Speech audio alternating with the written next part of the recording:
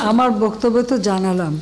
এই যে আমাদের একুশটা সমঝোতা স্মারক এবং চুক্তি আমাদের চুক্তি করা হয়েছে এমইউ স্বাক্ষর করা হয়েছে, সমঝোতা স্বাক- স্বাক্ষর করা হয়েছে, আবার কিছু নবায়নও করা হয়েছে। এখানে আছে একুশটা।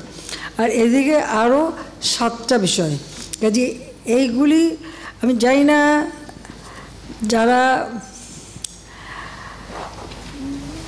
এই কথাগুলি বলে বেড়াচ্ছেন, তারা কি জেনে বুঝে বলছেন নাকি শুধুমাত্র মানে আমাকে হেও করার জন্যই বলছে সেটাই হচ্ছে প্রশ্ন?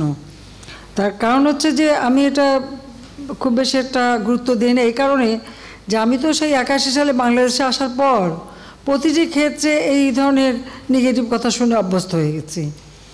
সবসময় আমার বুদ্ধি এটা গুজব ছড়ানো নানা ধরনের কথা বলা, বলতে বলতে বলতে বলতে তাদের এত বেশি বলে যেটা যখন যারা বলছে, বলতে দেন, এখানে আমার কিচ্ছু আসে যায় না।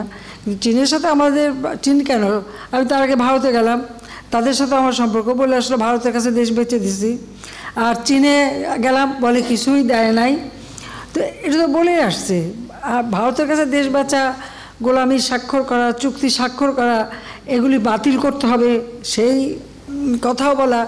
এটা তো এক- একটা শ্রেণির লোকের, এটা তাদের এক ধরনের মানসিক অসুস্থতা মানসিক অসুস্থতা বলে মনে করি।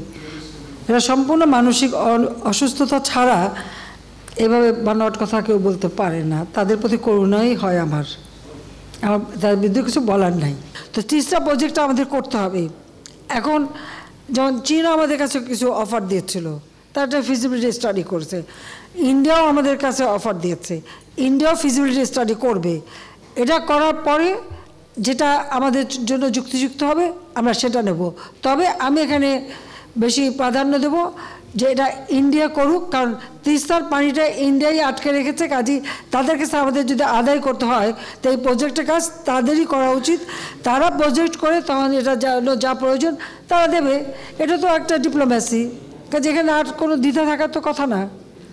চীন তো রেডি কিন্তু আমি চাচ্ছি যে এটা ইন্ডিয়া করে দিক।